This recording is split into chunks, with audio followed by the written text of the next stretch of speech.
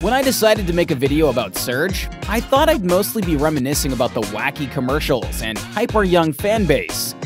But after breaking down the hard facts, there is a lot more to the Surge story than I realized.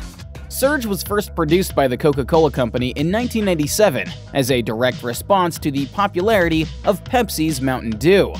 Shifting their focus towards the youth movement, extreme sports, and gamers was proving to be a smashing success for Mountain Dew. And of course, Coke wanted a piece of the pie too. They quickly initiated Project MDK, which stood for Mountain Dew Killer, and is rumored to be the code name Coca-Cola employees were using behind the scenes.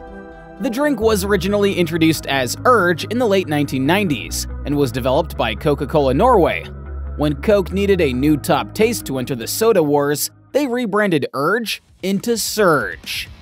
Surge was marketed as a liquid energy alternative to coffee. Its high caffeine content made it a popular choice among young people, who often turned to Surge as a way to stay alert and focused. However, the high caffeine content of Surge also raised concerns among some health experts, who argued that it was potentially harmful to children and adolescents.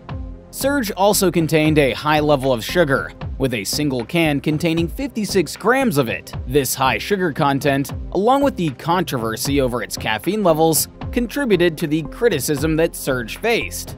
It didn't take long before schools, parents, and even retailers started banning the green drink. But was Surge really all that bad? I mean, when you compare the ingredients to Mountain Dew, they weren't that far off. I think Surge was just getting a bad rap for its absolute insane and over-the-top marketing. The way they branded themselves left a bad taste in the mouths of many adults. If Mountain Dew was cool, then Surge needed to be hardcore. The commercials were unlike anything else.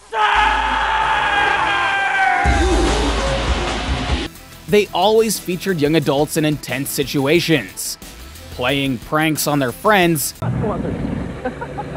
How you doing? No, come on. Oh, no, come on, for real. Let's go. No, Let's go. for real. Seriously, we're joking. Seriously. I'm talking no. How you doing? and no matter what, every single commercial had to have someone screaming, Surge!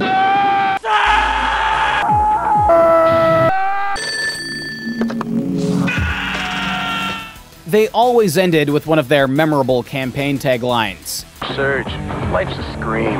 Life's a scream. Life's a scream. Feed the rush. Feed the rush. Feed the rush. Coke spent roughly $1.5 million on a 30 second Super Bowl commercial to launch the drink. Throughout the years, they had mainstream collaborations with Extreme Sports, Burger King, and World Championship Wrestling, just to name a few. WCW and Surge are the perfect match. Within three years, Mountain Dew's market share had fallen over 66%. To the public, it looked like Coca Cola's Surge was destined to outperform Mountain Dew.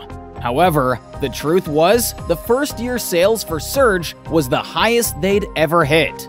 From that point forward, sales steadily declined, and Mountain Dew remained on top of the citrus throne.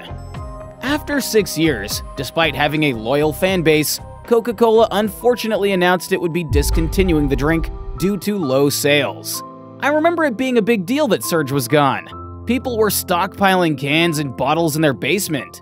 There was an entire resale market thriving off of sites like eBay. As time went on, the legend of Surge grew. Despite being discontinued for years, the fan base grew into a passionate community. They started a social media campaign and used hashtags to generate interest in the drink again. As a result, in 2014, Coca-Cola decided to bring back Surge for a limited time exclusively on Amazon. Surge. Surge is back, Surge. Then, in 2018, it came back for a short period again, only this time at Burger King locations. They even released some new flavors, but unfortunately, it looks like that fizzled out as well.